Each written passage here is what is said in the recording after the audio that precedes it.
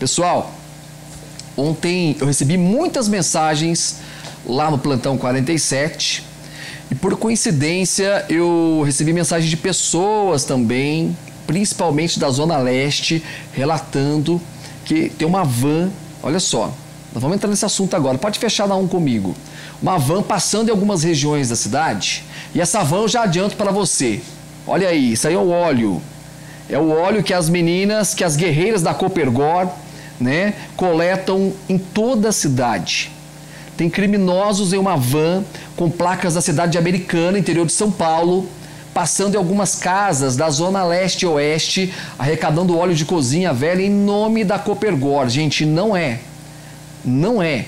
De acordo com a sócio-proprietária da Copergora, Rita de Cássia Rodrigues, ontem pela manhã, a van com, diversas, com diversos homens e mulheres foi visto percorrendo em ruas do Vila Rica, do bairro São Jorge, ali na Zona Oeste, na Chácara Alvorada, no Dom Bosco, Santa Rita, Chácara Poços de Caldas, passou pelo Amarires também, tá? Passou ali pelo IP, enfim, eles estavam à tarde nessa região da Zona Leste.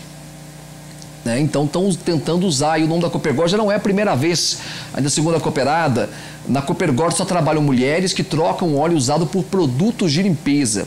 Além disso, as cooperadas trabalham uniformizadas e com crachá. Então, gente, cara crachá, viu? Lembra daquilo? Cara crachá, cara crachá, não é, é golpe, é golpe. Se, se chegar a van e chama a polícia, fala assim, ó, eu vou lá buscar o óleo, peraí. aí. Vou lá buscar o óleo, aguenta a mão aí. Eu tenho aqui um barril de óleo, espera aí fora. Você entra lá e pega o telefone, o 190, e chama os heróis. Liga para a polícia, porque eles vão garantir o frete dessa galera aí da van. Né? A van do óleo, esse povo aí, eles são mais lisos do que bagre ensaboado.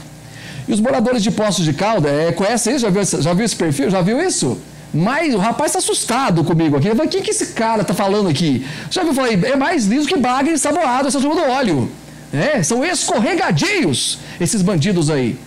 Fala o nome da Copergó, pelo amor de Deus.